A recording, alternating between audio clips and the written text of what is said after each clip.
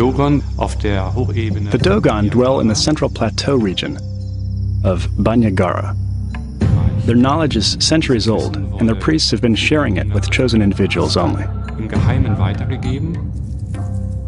20. Jahrhunderts In the 1920s, French anthropologist Griaule and ethnologist Dieterlen visited the tribe and were invited to share their secrets.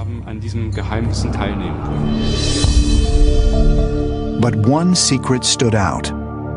The Dogon claimed that their god Amma came from a specific star in the Sirius constellation, the same place where the ancient Egyptians believed their god Osiris was born.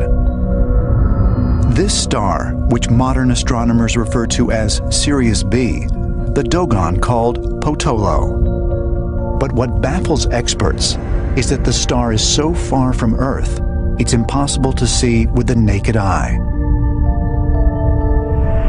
I was very intrigued by this, by the way. I mean, uh, the Dogons should not have known about the existence of this star. Sirius is the second nearest star from our solar system. It's eight light years away. In fact, it's not even visible with standard telescopes. It was first seen, literally seen, and photographed in the 1970s. Modern science has corroborated that Sirius B does indeed exist. Problem is, the Dogon knew about this before modern science corroborated it. I mean, that's spooky.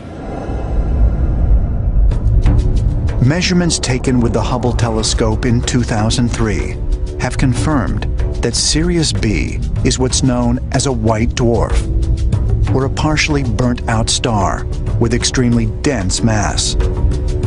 Although it is smaller in size than Earth, it's estimated to weigh eight times as much as our Sun.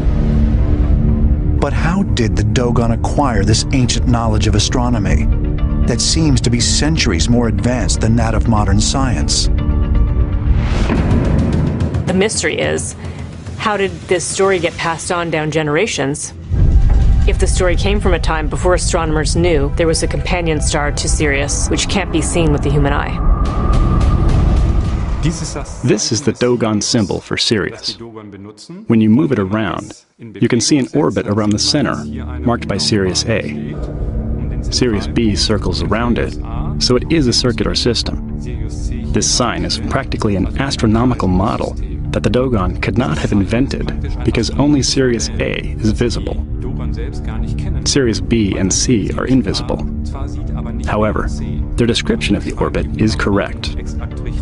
One assumption is that this god, Nommo, who brought them this knowledge, could have been an extraterrestrial intelligence. Wissen gebracht hat. Since the early 20th century, the tribe has been routinely studied and researched by anthropologists. This has led many modern historians to claim that the Dogon must have learned about astronomy from Westerners. The Dogon mythology is so fluid that when science confirmed something that they might have believed in antiquity, it might have just been sheer coincidence, or it could have been a conflation. That is, they heard, because it's an oral culture and because the, the mythology is so fluid, um, they heard something that someone said about this star in relation to another star, and they just grafted that into their mythology. They grafted that into their religion. And then when some reporter, some subsequent reporter, comes along and says, What do you believe?